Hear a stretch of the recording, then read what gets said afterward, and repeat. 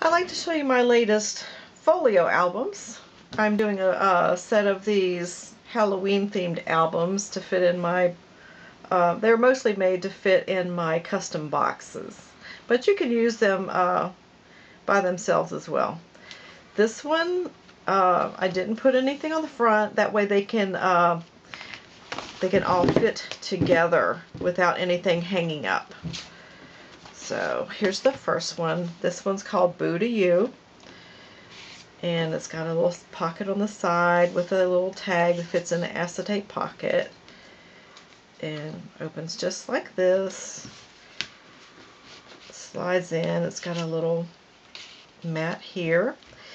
Each side has a pocket and a waterfall. I didn't put paper on the back so it wouldn't be so thick when you add your photos. And it folds just like this. This one, I left a little space if you wanted to put a year. And it fits just like this. This is a different theme. It's got the little uh, side pockets. Tall mat.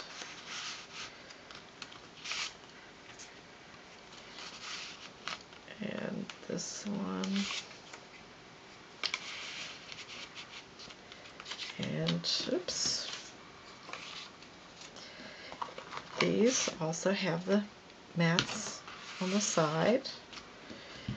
And these little pockets here. They slide right in.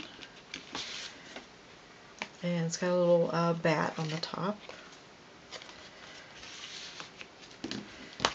Uh, what was this one called? This one's called, I think, Trick or Treat. This one's a spider theme. It's got the pocket on the side and the acetate pocket.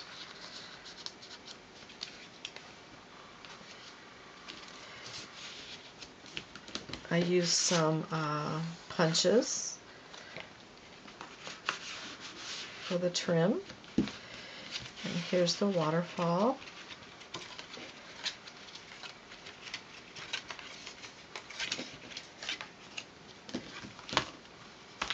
This one's called Pumpkins. It's got the little tag. And you can put a photo down here as well.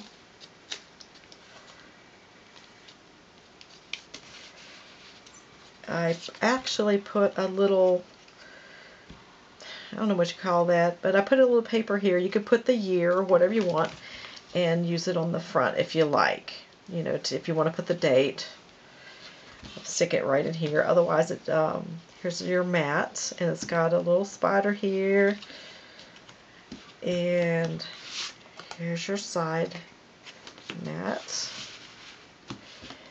There's one this side as well, and here's your waterfall page.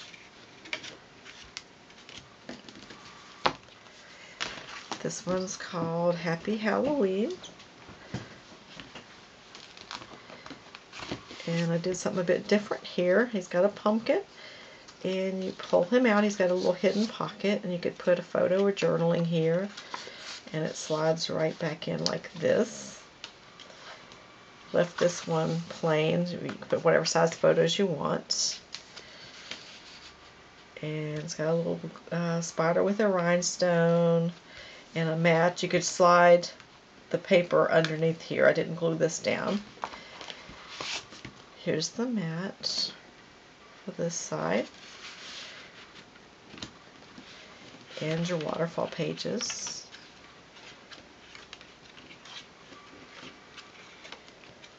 There you go.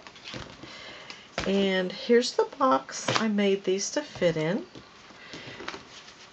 It will hold uh, two, three, probably five. And they slide right in like that. And the top, put this on right, the top pops right back on like this. And here's the box. The door actually opens. I had fingernails, I could do this. And I didn't put anything in there. You could uh, put a photo or some or write whatever you like in there. It's got um, clear plastic windows. There's a cat here and it looks like the window's broken up here. There's curtains in the windows.